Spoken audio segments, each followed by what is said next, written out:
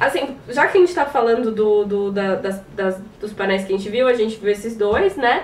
E Ah. mais dois de quadrinhos que a gente viu O do. O do. Do, do documentário. Então, um é um documentário, deixa eu ver se eu acho aqui o nome certinho, mas é um documentário que vai sair é, em 2015 na, na HBO. Série de documentários, acho que vão ser 10, 10 episódios, é, que, que chama edição especial, que fala sobre a história dos quadrinhos aqui no Brasil, assim. E eles pegam principalmente a partir da década de 70, né? E vai ser vários capítulos especiais para alguns. Pra alguns artistas, Artista. né?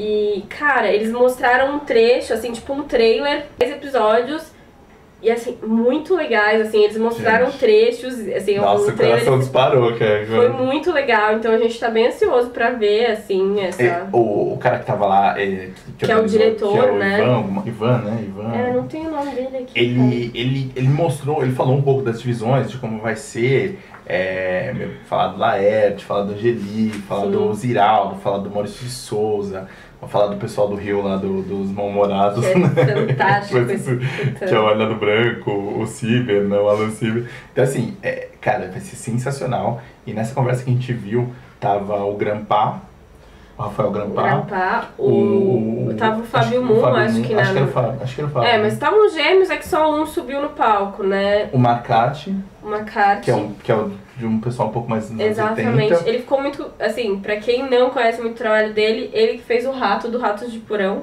Então, né? Ou seja, o cara. É, é- Ele é bem underground, assim, na década de 70 ele era, tipo, muito importante. Sim. Ainda é importante, mas eu digo que ele ficou muito conhecido É, nessa É, época. 70 80 ele foi bem. João Montanaro, Tinha mais gente. que é aquele menino que Pro- desenha desde os 40, 14 anos, eu sempre duvidei. É o pai dele que desenha, gente. É, é um Porque, tipo, robô, ele tem né? 18 anos. Você é um robô, Enfim, né? ele é um robô. E tinha mais gente na, na- no painel, eu acho. Tinha mais um que eu não lembro quem é. Eu também não lembro agora. E tinha o André Conte, que é da Companhia das Letras, que foi um do- é, aquele editor, né, do quadrinhos da companhia, que ele meio que Ajudou ajudou no- na, É, na no- prospecção ali do, do, Do- do do pessoal do documentário. Foi meio que um consultor. Foi bem legal.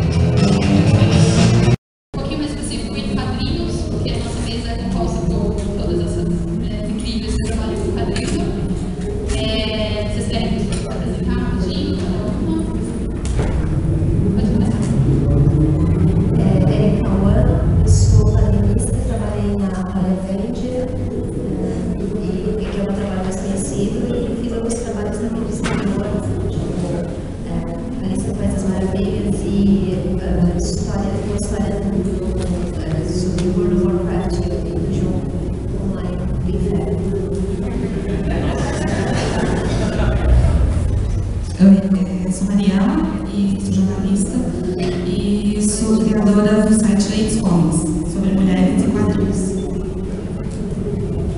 Oi, gente, meu nome é Fernanda Lia, eu sou do Como Realmente, era um site na internet, e agora a gente lançou o livro pela editora Nemo esse ano.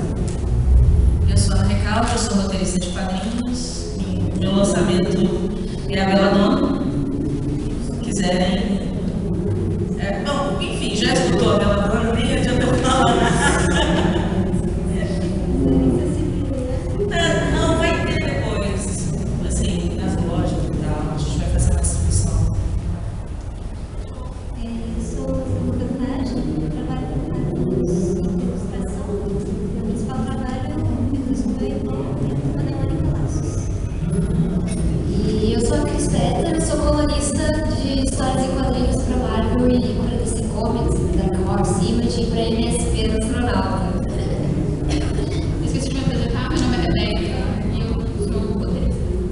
aí foi engraçado que na segunda-feira, depois da Comic Con, veio sair uma matéria na Folha e foi bizarro, porque era meio assim, ah, a mulher ela foi acompanhando o marido ou o namorado, e aí o marido comprava, o pessoal, o cara comprava mais um bonequinho, ela, ah, mais um que eu vou ter que arrumar espaço na estante.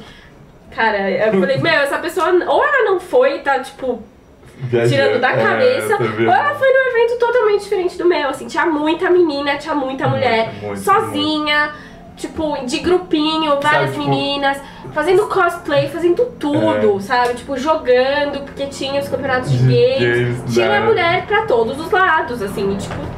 É. Elas conviviam e coexistiam, E- e, e com- essa é a beleza de tudo. É, assim. assim, com todo respeito, a mulher que tava lá não era a mulher que fica na frente do- de um carro bonito, né?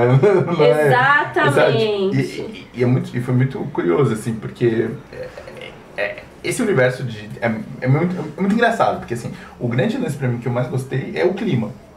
Cara, era um clima muito de boa. Assim, muito. A gente ficou o dia inteiro lá no sábado e no domingo. Sim, o e, dia meu, inteiro. É, cara, você não via. Eu não vi nada. Nada, Não. nada, nada. É, porque tem muito Assim- problema de Comic Con, assim, que sempre vai um engraçadinho, porque tem, tem.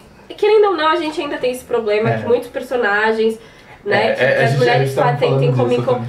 Tipo, é o maiô, tipo, pequenininho, E aí, é sabe? o, e aí, eu, E aí é o cara que vai tirar na foto, da bunda. É. E assim, a gente não viu nada disso, a gente não É. teve, viu esse problema. Pa- a, gente, a, gente ouviu, a gente ouviu falar que teve. É. Pra, pra falar que a gente ouviu falar que Mas teve. a gente, eu, graças a Deus eu não vi isso, porque eu ia ficar muito puta. Porque assim, é, é muito curioso, porque assim, é é- é- é- é- é- isso é um, acho que talvez dá um outro vídeo só de discussão, porque assim, é, é, eu, eu já fui em evento de anime faz um tempo, Uhum. né, faz um tempo que eu não vou, mas eu já fui no Anime Friends, no Anime Dreams e tudo mais, e, e era, o clima era esse, Uhum. só que tipo, ainda mais de cultura japonesa, mais até do que na Comic Con. Sim. Mas aí, assim, é que tem uma coisa curiosa, que é, é, ao mesmo tempo que na- nessa mesa que a gente viu, tava falando do papel da mulher, eu Sim. fiquei pensando, na verdade, que na outra falta coisa. representatividade É. ainda das mulheres, tanto como personagens, É, e exatamente. E essa, e, essa, e essa foi a grande questão lá, né? Porque assim, tem duas coisas. Na, na mesa a gente falou, falaram muito da questão de como não tem protagonista mulher e como que a mulher não pode se inspirar, sabe? Quando ela é criança, é. Puta, ó, Você quer menino, Batman. Você quer ser o Batman, você quer ser o Homem-Aranha, você quer ser o Superman, você quer. é, e menina não, né? Assim, então. é, isso, isso é um problema muito grave, né? Isso é uma Sim. coisa muito grave. Mas assim, é é que eu acho.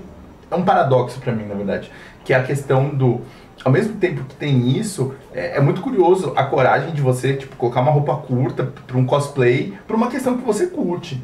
Sim, você vai, você vai assistir de Chun-Li, aí você tem que colocar aquele maiozinho, que sabe Deus como é que a Chun-Li conseguia dar aqueles chutes É, na gente.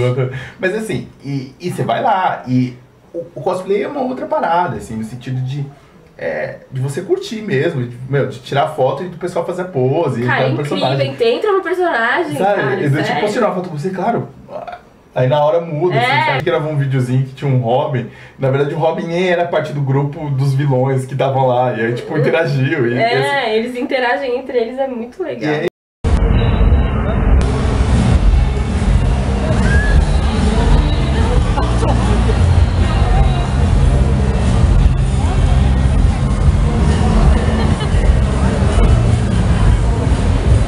Mas aí tem todos esses, tinham todos tinha, tinha stands menores, tinha, por exemplo, a, esse barulho é a Manu, tá? É a Manu. Ela tá comendo.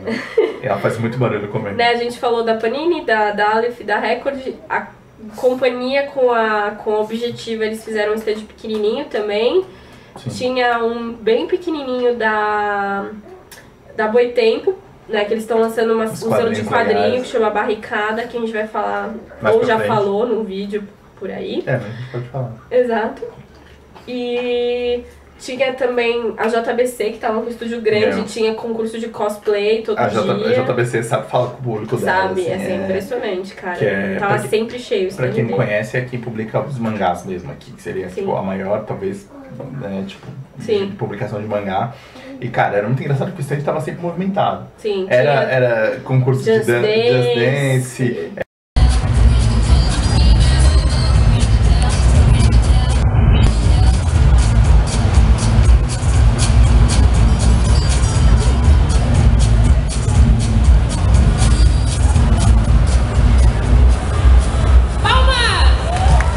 Brinca- concurso de. ah, os, as preliminares da, Do- do, do do cosplay. cosplay. que a gente viu ao final foi lá. E é muito engraçado que tinha um negócio da interpretação, né? Que a gente não falou, Cara, né? é, é sinistro. Cara, isso, era tipo o personagem. Cara, a gente Não é só um desfile, tipo, ah, eu estou fantasiada É. A primeira Não. que foi era A do Game of Thrones, que eu não sei, que tem um dragão. A Khaleesi. É, que tem um dragão. E aí, tipo, ela tinha um dragão aqui. E ela, eu sou, não sei o que ela. Gente, a hora que a gente viu, tipo assim, Não, o cara que ganhou, que foi o Charada. foi charada, foi. Não, Cara, o cara começou começou a cantar é. e não sei o que, aí veio o Batman, eu fiquei meio, mano, Gente, foi foda. Foi... sinistra. E as preliminares foram todas no, no JBC, né? É, Então, que a gente não, não chegou a ver, não calhou, mas. É. é, tipo, porque a, a, a gente, a gente ficou meio puta quando a gente viu na final. A gente ficou assim, cadê o Groot? é, Cara, Na Tem- tela, tem- tem na tela a foto do. Cara, melhor cosplay. Gente, o Groot, melhor personagem. É que eu não sei cosplay. como é que foi a atuação dele, se ele dançou bonitinho que nem Ele o podia Groot. ter feito dança, dança de no, no Né? Dançando Jackson, Jackson Five. 5, cara. E tinha, Groot, tinha o cara com. com, com... Se vocês não viram Guardiões da Galáxia, Por favor, assistam faça esse agora. favor a assim, si mesmo, é cara. É divertidíssimo. sensacional, gente. Enfim, A Bom, vai continuar fazendo barulho. né? Mas enfim, ela é nossa. Ela é o nosso. Jabba the Hutt. né? É, eu ia falar outra coisa, ela é o nosso Wookie. Ela é o Wookie. Ela é o Wookie, ela é um pequeno Wookie.